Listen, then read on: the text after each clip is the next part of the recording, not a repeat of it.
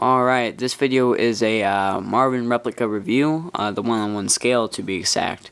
Uh, this one is for Decapitron, the Decapitron on the uh, Puppet Master UQ forum.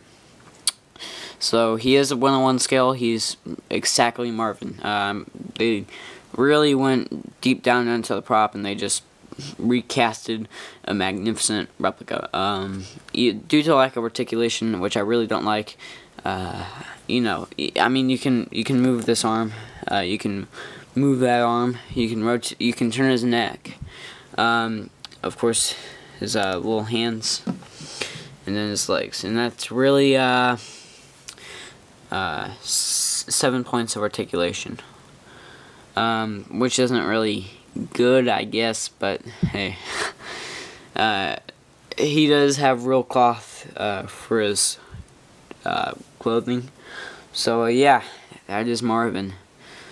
Uh, also, um, what I really like and what's really detailed about Marvin is his hair is gray. Now that, you really can't get more detailed than that, but he, overall, I give him 7 out of 10 points. Well, 7.5. Um, I mean, you compare him to, to some of the other full moon replicas, and he just uh, really stands out. Uh, to comparison with uh, matching.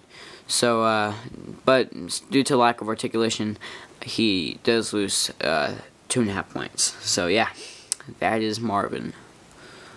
Alright, check back. Thanks for watching. Uh, hope you enjoyed this video. Please subscribe.